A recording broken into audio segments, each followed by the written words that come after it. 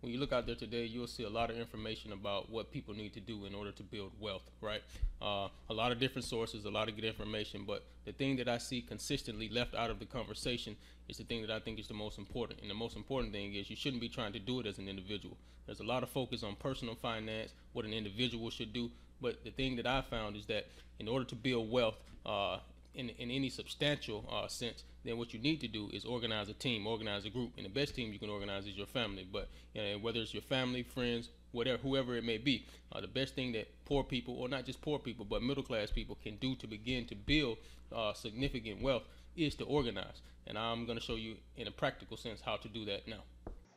Now, let's begin by looking at the individual budget uh, for one individual, right? Uh, you know, so let's just look at a typical salary. You know, the average uh, individual in America makes about $36,000 a year. So we'll say that's $3,000 per month. Now I know usually when they get that money, uh, taxes and insurance is taken out. So they usually don't take home three grand. But uh, for simplicity, let's assume that this person does take home three grand. Okay, now that we have the income of three grand, let's consider the expenses that this person uh, may have hypothetically, right? I'm just taking these numbers off the top of my head, but I will, you know, be reasonable with the numbers that I'm choosing. So a person making about $3,000 per month, it's not unreasonable to think that this person could be paying $1,000 in rent, right? Say $250 on utilities, that's gas, uh, water, lights, cable, a cell phone, $100 per month, groceries, let's say 250, car payment, let's say another 250, gas for that car each month, let's say $200, car insurance, let's go 150 student loans, let's say this individual pays about $300 in student loans, credit cards, let's say that person is paying about, uh, let's say you got a credit card and you're paying about $200 per month, personal care, I'm going to wrap that up in miscellaneous down here, entertainment, I put all of that personal care, entertainment, and miscellaneous. I put it in one one uh, line item. But first, let's take care of gym. Let's say that they're paying about thirty dollars a month in the gym. Let's say this person for personal care, entertainment, you know, going out to eat, uh, watching a movie, whatever, you know, buying a, a, nice shirt, pair of shoes, or whatever. Let's say this person gives themselves uh, $250 per month. Okay, as you can see, uh, this person who's making $3,000 per month and they're spending uh, spending uh, these amounts on all of their bills, which total up to almost at 3,000, that 3,000 total, uh, about $2,980. This person doesn't have very much money left over. As an individual, having your own, you know, having your own place, paying $1,000 a month in rent, having all of these other bills, it may seem that it's hard to have money left over at the end of the month uh, that would allow you to save, that would allow you to invest. But uh, part of the problem is, well, first of all, an individual, you know, as an individual should find ways to cut their bills. Maybe you don't have to have a thousand dollar mortgage. I mean, rent or mortgage. Maybe you don't have a car payment. Maybe you buy a used car out cash. Uh, you know, however, uh, you have options with that. But the, the main point, regardless, uh, even if, if, regardless of whether or not you cut your expenses as an individual, uh, the way that I'm going to show uh, family consolidation uh, will help. Now let's take a look at a family, how fam how consolidating the family and pooling resources can help uh, individuals save up, uh, uh, not, not an individual person, but an individual family begin to save up the type of money that allows them to invest uh, into other things. Okay, so I'm going to go to this tab that I've labeled family. Okay, and as you can see, I just took the same uh, categories. Uh, I got the income here and the same expense categories uh, that I had on the individual tab, right? I just moved it to the family tab, okay? And basically I created this uh, template uh, using the example of a family of 10. Uh, most people, some people have a family of 10, some people have a family of 100. So, you know, you can just extend this example out. Once I show you uh, the power of consolidating a family of 10 members, what that looks like, then you can just extend the, the example out and see how much more powerful 20 people would be, 30 people would be, so on and so forth.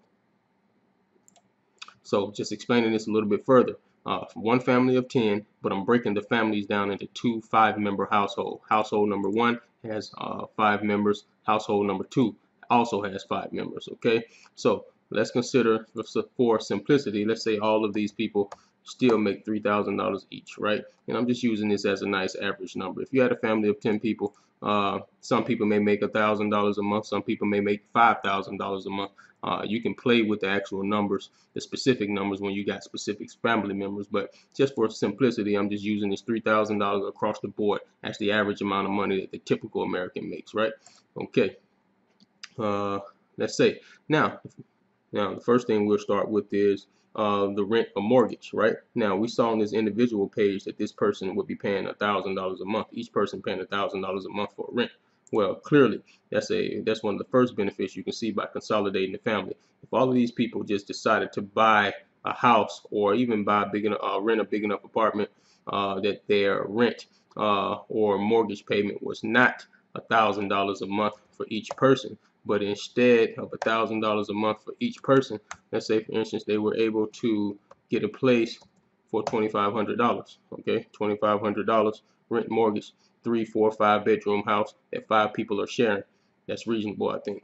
Utilities in this house. What, we, what did we see for the individual? The utility for the individual will be 250 well, I think it would be unreasonable to think that you have to multiply this by five just because five people are in the house. I think a nice reasonable reasonable number for a household of five people maybe $600 a month.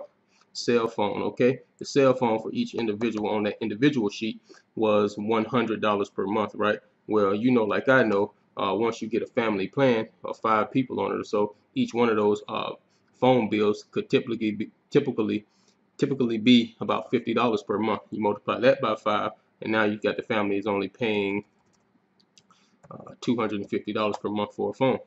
Groceries uh, on the individual list, we say our individual ate about $250 worth of groceries. I think once we consolidate, we don't have to spend 250 250 each. Now we can buy, you know, we can go to BJ's, we can go to uh, Costco and get stuff in bulk, and we won't be spending over a thousand dollars in uh, food for food. Maybe we'll be spending about another, let's say $700 for food, okay, between those five people. Car payment. That's another thing once you begin to consolidate. There's no need for you to have a household with five cars parked out in front.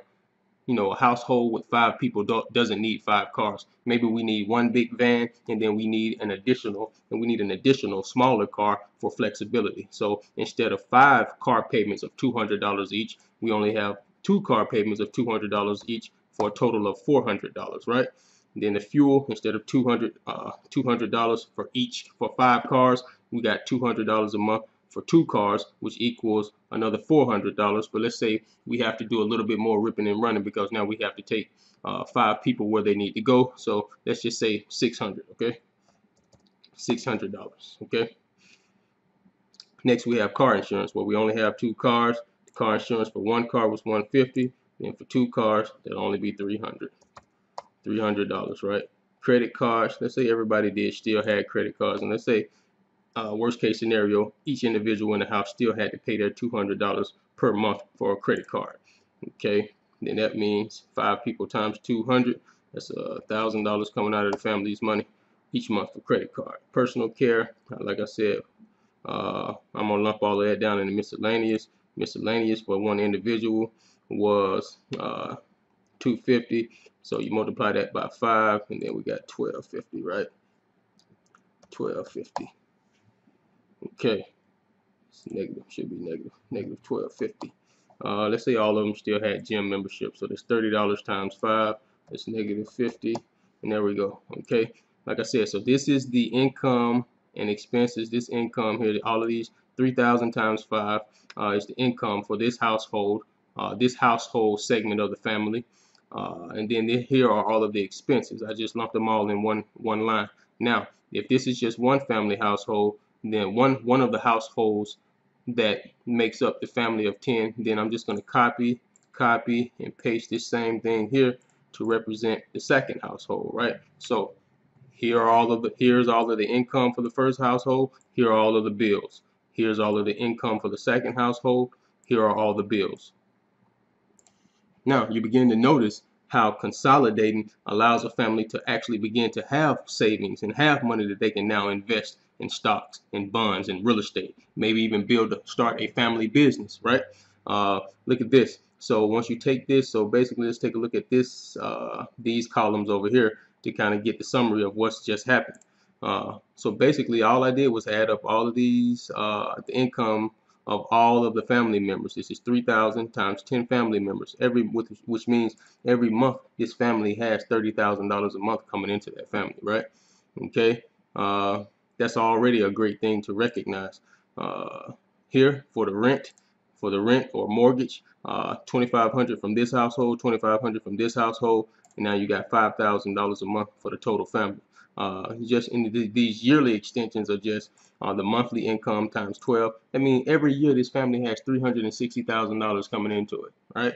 Uh, this These monthly expenses uh, follow the same convention. I just multiplied each one of these line items by 12. If they're paying $5,000 a month in mortgages, you multiply that by 12. That means $60,000 a year is going toward mortgages, uh, utilities, so on and so forth. Uh, you calculate the same way, cell phone, 500 a year, so on and so forth. I mean, 500 per month, multiply that by 12, and this is what they're paying per year. But what you begin to see is how a family, how a family, by working together, can begin to build capital that they can use to invest okay every month this family is making $30,000 the expenses here are coming out to be about uh, $15,500 but when you uh, but when you subtract that from the, the total family income then the family has $14,000 and five $14,500 left over every month now you multiply that by 12 and this family has $174,000 every year that they can begin to invest with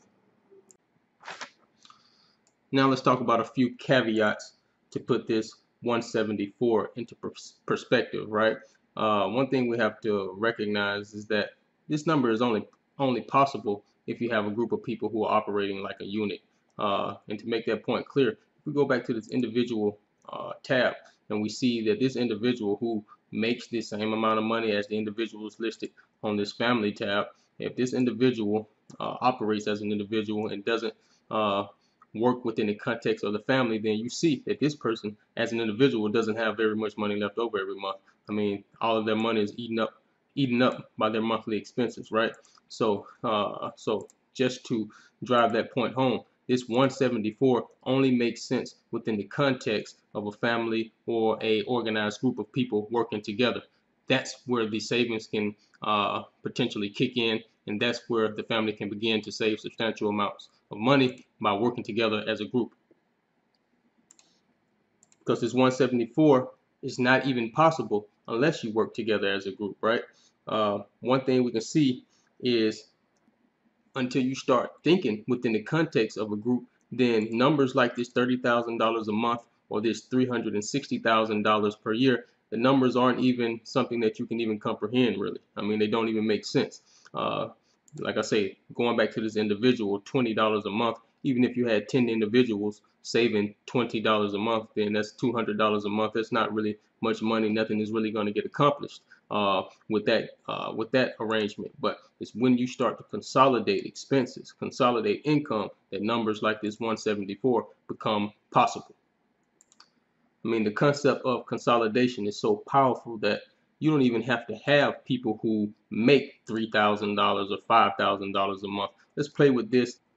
Yeah, let's play with the numbers and even see what, what this uh, spreadsheet would look like if the family members only made $2,000 each, right? $2,000 each. And you see that this family still has money left over. The family as a whole still makes $20,000 a month. At the end of the month, after paying all of their expenses, they still have $4,500 left over. Multiply that 4,500 by 12 and you get $54,000. It's not shabby at all. Or you can look at it from the perspective of a few individuals making only $1,000, right? Then you have one family member who's making 3000 uh, and then a family member making 5000 not 50 but 5000 so on and so forth. But you begin to see, even if you have a mix of family members and everybody, the, the powerful thing about this is, this is not a lot of money that for most people. A thousand dollars a month here, two thousand here. Uh, this one big, you have one family member who, you know, might have went to uh, college, got a nursing degree, got a lawyer degree, and they're making five thousand dollars a month. But the rest of these uh, incomes are very uh, are are are very obtainable uh, for a lot of people. So what I'm saying is the power comes from organizing the family to so that you can be able to recognize and realize the potential uh, for hitting these numbers when it comes to having investment capital. So now that you've seen how it's possible to save capital, uh, in the next video, I'll show you the process by which you make it grow. Uh, go ahead and subscribe to the channel and share this video with somebody because I know you know somebody who needs to see it. All right.